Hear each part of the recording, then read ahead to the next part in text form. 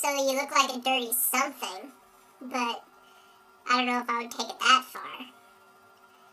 But anyway, I think it's great that, you know, you're trying to get people to comment and rate your videos, because, I mean, that's kind of what we're all doing, sort of. I mean, I've made quite a few videos and I only have 21 subscribers at this point, which, you know, is pretty pathetic.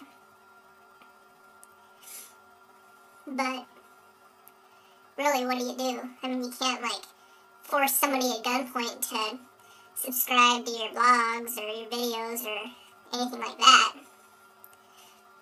You know, it'd be nice. I would, I wouldn't mind getting some more subscribers and people rating my, rating my stuff, my totally random videos, because pretty much that's what they are. They're pretty much all just random thoughts and and such. But you know, I'm looking at yours, and you have like, you know, 23,000 views on one of your videos, which in the world of YouTube really isn't that much, but it's still about 23,000 more than what I get.